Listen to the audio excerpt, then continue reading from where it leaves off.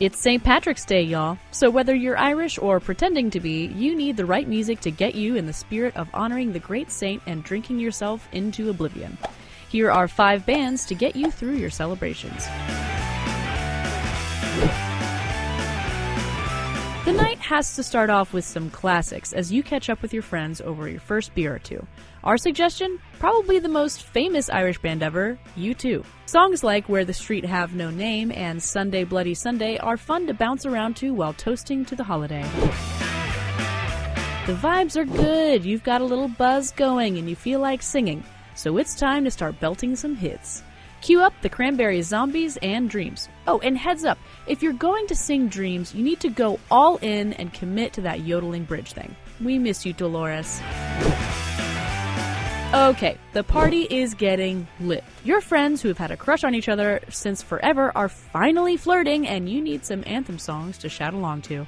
Enter Dropkick Murphys, who are exactly what you think of when you imagine what St. Patrick's Day music should sound like loud bangers with fiddles, bagpipes, and accordions.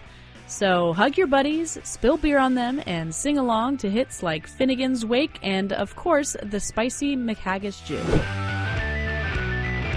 Things are starting to get dicey.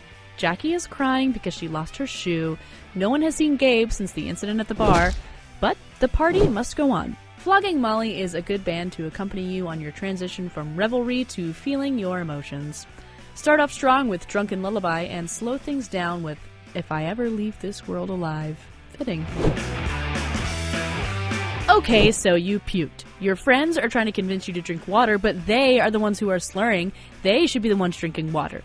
You want to start yelling, but you love them, so you let them know how much they mean to you, and that no matter what, you'll be best friends forever. To handle these emotions, you need something to slow dance to while clutching your beer. Who should soundtrack this roller coaster? Celtic Woman, especially their version of Danny Boy. it's time to call it a night. Not that you have a choice or anything because the bartender cut you off, but you did it. Now, for the love of St. Patrick, go home and hydrate. Thanks for watching. If you liked the video, make sure to like and subscribe and hit that bell for all notifications from radio.com. While you're at it, why don't you check out some of our other great videos?